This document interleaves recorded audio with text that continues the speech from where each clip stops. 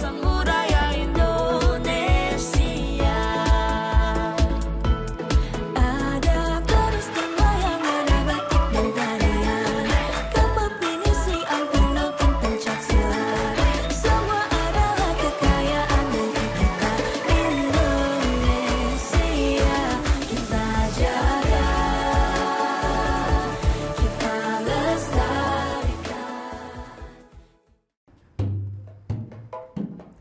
Nicole, Andrew, Kak Nia mau membacakan kalian buku cerita, mau nggak?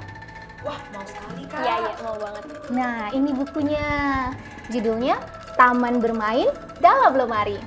Ditulis oleh Sofi Dewayani dan ilustrasinya yang sangat cantik ini dibuat oleh I Orji. Diterbitkan oleh Biang Lala, anak Nusantara. Yuk kita lihat dalamnya ya. Nah, kalian lihat nggak ini ada gambar apa? Iya, itu sama kayak judulnya kan kak, lemari. Iya betul, ini ada pintu lemari. Nah kita mulai ya ceritanya ya. Kakak masih saja membatik. Aku bosan. Aku ingin bermain di taman.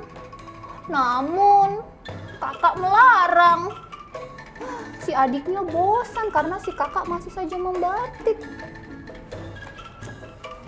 Lalu dia pergi menjauh meninggalkan kakak. Ada apa di balik pintu ini? Wah, si adik ke mana ya? Dan dia melihat ada pintu terbuka, lalu wow! Sepertinya adik masuk ke dalam pintu. Lalu trampolin. Wah, si adik jadi main trampolin. Main trampolinnya di mana nih, Niko? Di mana ya? Itu kayak bentuk awan gitu. Iya, seperti awan, seperti motif batik bukannya? Ini motif batik apa nih, kok? Itu mega mendung. Iya betul, motif batik mega mendung. Di sini seperti trampolin tempat bermain si adik, seru Iya. sekali.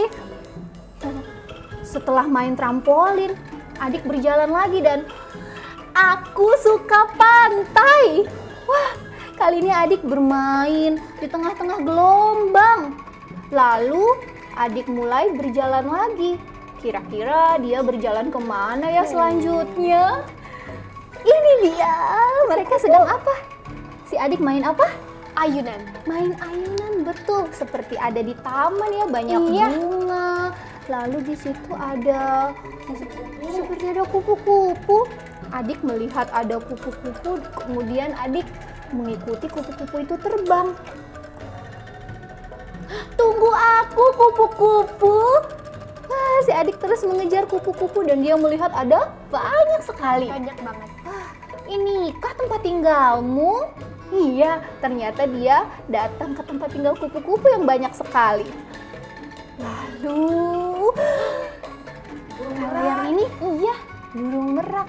Burung, iya, burung merak yang ekornya berkibar sangat indah.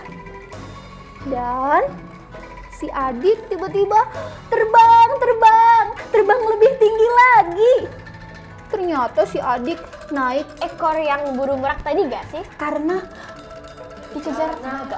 ah, dikejar naga kira-kira dia berhasil lolos tidak ya wah si adik ketakutan dan ah, akhirnya hampir saja akhirnya adik berhasil turun. Dia terjun menggunakan bulu dari ekor merak. Wah petualangannya sangat seru. Dan akhirnya adik menyelesaikan petualangannya dengan sangat gembira. Aku ingin punya semuanya. Lalu akan kusimpan taman itu dalam lemariku. Wah, adik gembira sekali. Teman-temannya juga semua melihat kegembiraan adik. Karena dia ternyata bermain-main dengan motif batik yang sangat cantik. Nah, seperti itu kalian suka tidak ceritanya? Suka banget kak. Aku juga kak. Menurut kalian, apa pesan yang bisa diambil dari cerita ini? Motif batik itu sangat beragam kak. Jadi setiap motif itu melambangkan daerah asalnya. Hmm, Iya. betul. Corak batik juga bagus banget. Tadi aku ada lihat yang mega mendung, burung merak, sama yang lain tuh Aku suka banget. Nah, itu membuat orang yang memakainya jadi eh, bangga ya karena keindahan dari batik tersebut. Kalian tahu tidak? Jadi, dulu beberapa tahun yang lalu, bahan batik itu tuh masih dianggap sebagai bahan yang hanya dipakai untuk acara resmi saja. Tapi sekarang, batik itu sudah dijadikan bahan yang bisa dipakai sehari-hari. Seperti contohnya, kalau Andrew mau jalan-jalan ke mall, Iya. atau Nicole mau kumpul sama teman-teman, Iya ya. bisa pakai batik. Bahkan di sekolah aku setiap hari Jumat juga pakai batik. Wah, keren sekali. Terus kalian tahu nggak kalau batik itu sudah ditetapkan oleh UNESCO sebagai warisan budaya tak benda dari Indonesia. Gara-gara itu, pemerintah Indonesia dengan bangga menetapkan tanggal 2 Oktober sebagai Hari Batik Nasional. Iya, iya, betul banget. Aku juga di sekolah aku setiap hari itu eh, sekolah aku selalu pakai baju batik dengan motif bebas. Wah, jadi bebas ya. Iya. Nah, itu sebagai wujud pelestarian kita terhadap batik. Jadi, batik itu juga sudah dianggap sebagai benda antik. Kita juga harus bangga memakainya. Hah, benda antik? Iya, karena batik itu sudah banyak disukai, terus dicari, bahkan diburu oleh bangsa asing. Bangsa asing kayak bule-bule gitu, Kak. Jadi mereka itu suka sekali dengan batik. Karena mereka suka, mereka juga akan sangat bangga kalau mereka bisa memakai batik. Nah, kita sebagai bangsa Indonesia yang memiliki budaya tersebut, kita juga harus bangga dan jangan mau kalah sama orang asing. Gimana caranya?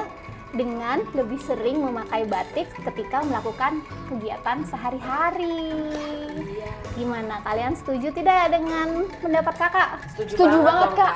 Wah, berarti kalian seneng nih dengan gambar-gambar motif batik tadi. Seneng banget. Gimana kalau nanti kakak ajak teman kakak untuk mengajari kalian membuat batik?